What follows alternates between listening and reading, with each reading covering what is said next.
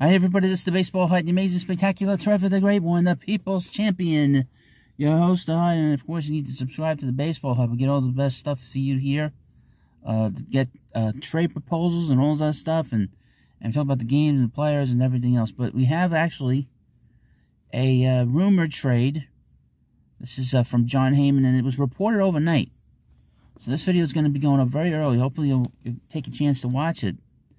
Uh, but apparently, the Mets are talking to the San Diego Padres in a big trade um, for first baseman Eric Hosmer and the pitcher, starting pitcher, right hander, Chris Paddack. And they would be dealt to the Mets for Dom Smith, and he would be going to the Padres. Now, the thing is, is this trade would put the Mets over the $300 million range, which would they would go over the cap.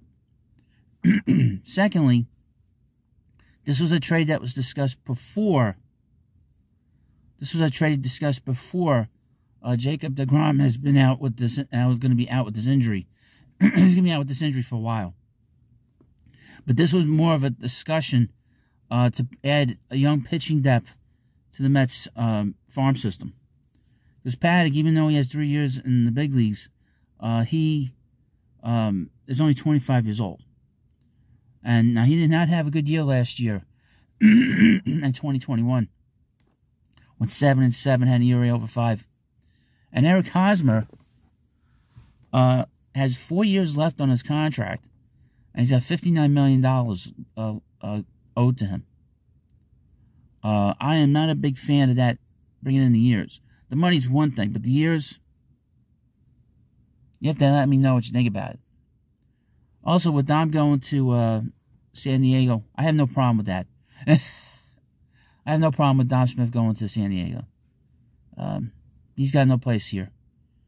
He's not really an outfielder. Obviously, he's not going to be playing first. There's also, if the Mets bring in Hosmer, they the rumor is, is that uh, Pete will be the DH on this team. I don't know how Pete's going to handle that. So there are some things with this this trade scenario that's like a domino effect. You have all this sort of this affects that and that affects this and blah blah and down the line. So I will let you know if a trade happens during the day. I'm gonna be out most of the day today. I won't be getting back to the hut until like eh, 5 6 o'clock.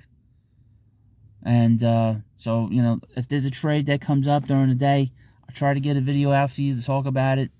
Um, I do expect the Mets to make some moves. I've heard a lot of rumors of the last. I'm surprised this trade has popped up.